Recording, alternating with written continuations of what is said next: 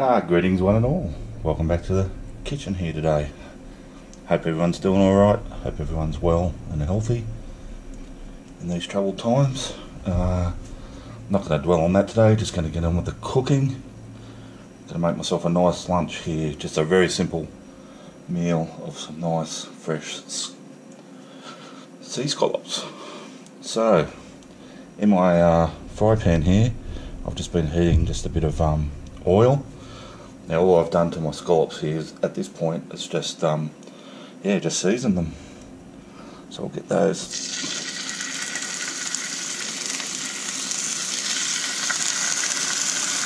And guys, we all know the rules with scallops. We won't overcrowd the pan. I'll do them in two batches of, uh, I've got a dozen here, so I'll probably do them in two batches of six two, four, six, there we go. And just not too long.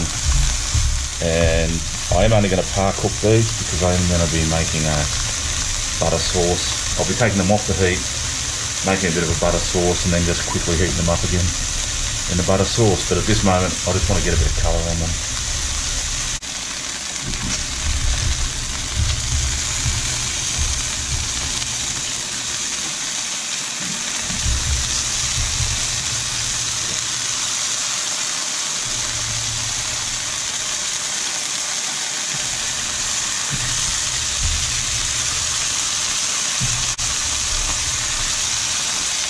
Now the thing to do with these scallops, of course, you probably already know, is once you've got them in a position, just don't move them around, don't slide them around, and they will hopefully caramelise a bit better.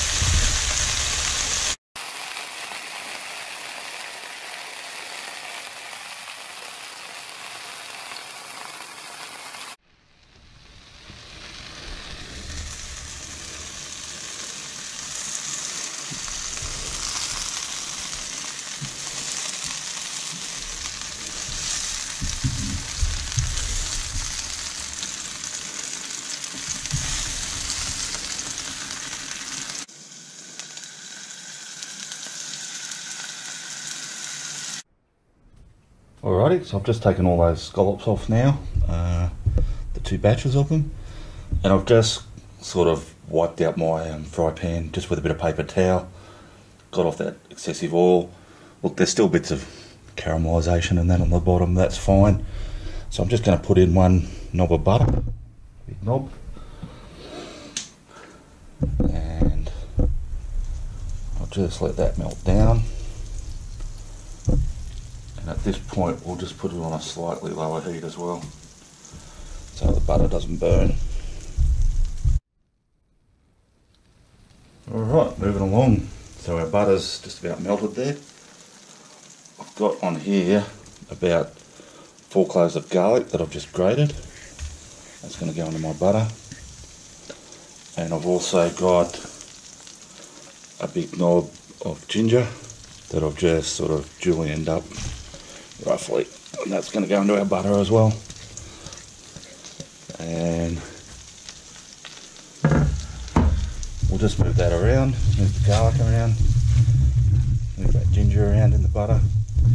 And we're just getting that ginger and garlic golden. We try not to burn it or the butter.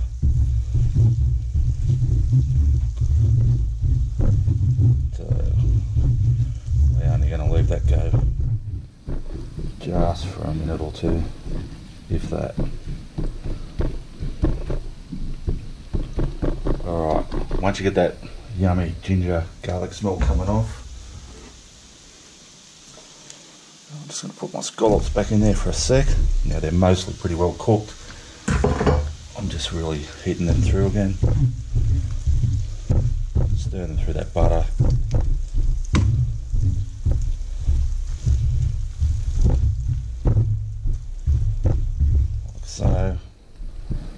warmed up the heat off.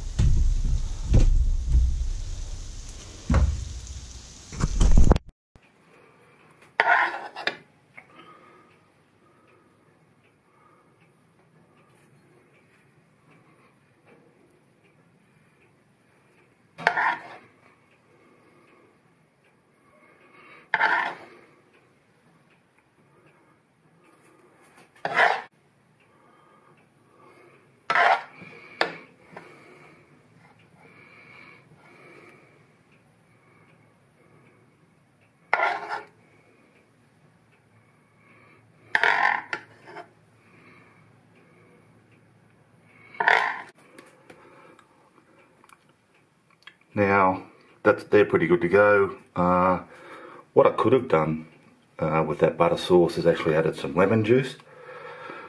Um, but, but, because I knew I was going to be adding a fresh citrus ingredient, I haven't gone down that path. So I've still got some of these um, finger limes given to me by my work friend um, Julie, aka Cindy.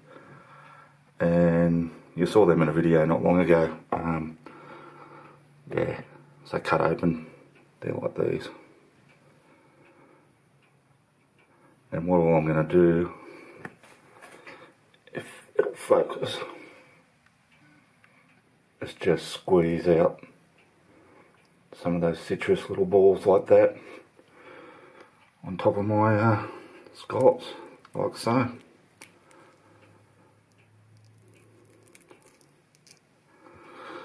And I've got quite a few, so I'm not going to be stingy with them.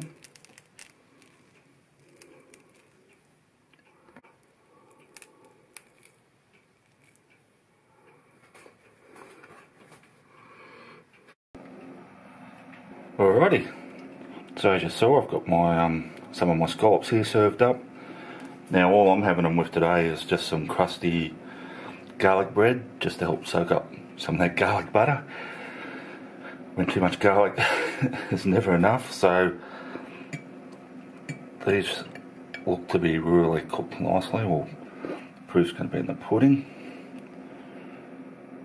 I'll just show you up close and that finger lime, especially those red ones, just give it a really nice pop colour like that and it won't be a bite, the whole lot will be going in my mouth with the ginger, a bit of garlic and the butter. I